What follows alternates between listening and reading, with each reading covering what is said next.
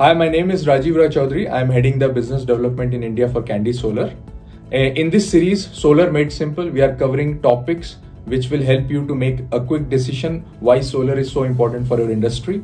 And the first topic which we are covering today is the difference between rooftop solar and open access. Rooftop solar system is best suited for industries which has ample roof space or an ample land available inside their premises. Also, their contract demand ideally should be less than 1 megawatt because most of the Indian states allow net metering today for contract demand of size 500 kilowatt to 1 megawatt. Now, the best advantage of going for rooftop solar system are two.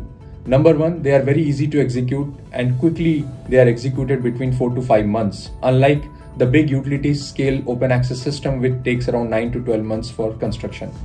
The second advantage is there are no wheeling losses, charges, or any other cross subsidy surcharges applicable for a rooftop system, which is there in any other utility scale project, which adds up to the uh, charges and then the savings gets reduced. So coming to open access, it is best suited for industries which has higher power consumption. Uh, typically in the range of 5 to 10 MVA kind of loads are best suited for open access projects. Now these projects also comes with its own challenges such as in India today getting the land for building these utility scale projects is a challenge.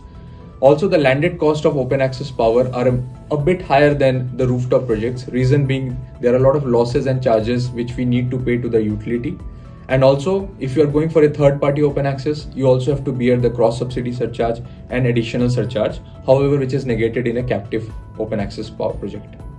Apart from that, many state has different banking regulation, which makes it a bit challenging on understanding when we can bank the power and when we can use the power.